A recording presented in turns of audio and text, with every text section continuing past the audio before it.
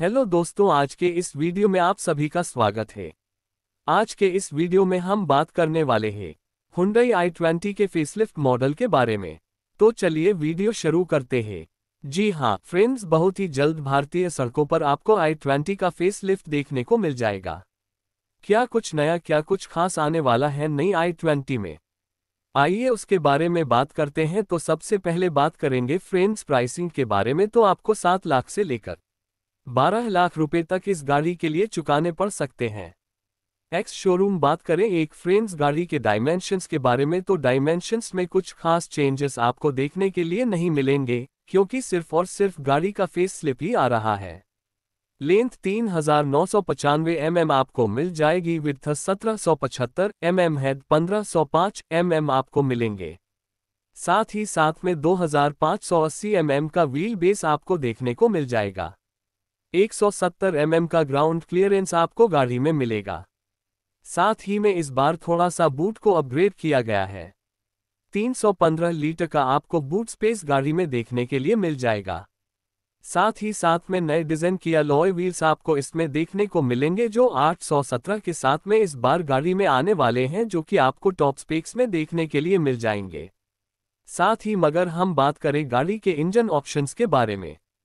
तो आपको one litre का टर्बो पेट्रोल इस बार गाड़ी में देखने को मिलेगा जो करीबन 118 बीएचपी की पावर प्रोड्यूस करेगा और 21 के एमपीएल माइलेज आपको देगा।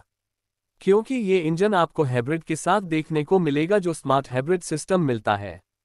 इसी के साथ में एक दशमलव दो नेचुरली एस्पिरेटेड आपको पेट्रोल इंजन देखने को मिलेगा जो अभी भी चल रहा है जो कि पिचासी बी की पावर प्रोड्यूस करेगा और साथ ही में आपको 20 से 22 के एम का माइलेज दे देगा।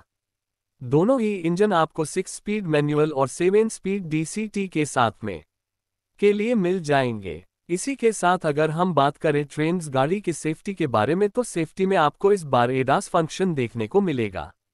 गाड़ी में जी हाँ friends level one E L level two का आपको एडास सिस्टम गाड़ी में देखने को मिलेगा।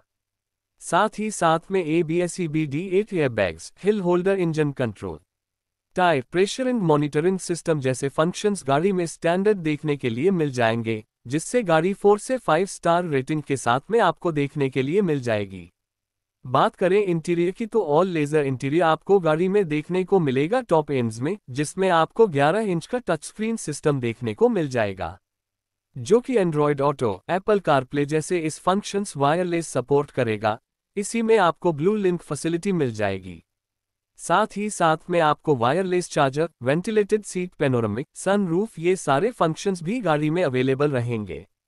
सो so फ्रेंड्स आपको वीडियो कैसा लगा? हमें कमेंट्स बॉक्स में ज़रूर बताइए थैंक यू फॉर वॉचिंग अगर आप लोगों को वीडियो पसंद आया है तो वीडियो को लाइक और शेयर करें और चैनल पर अगर आप लोग पहली बार आए हैं तो चैनल को सब्सक्राइब करना ना भूलें।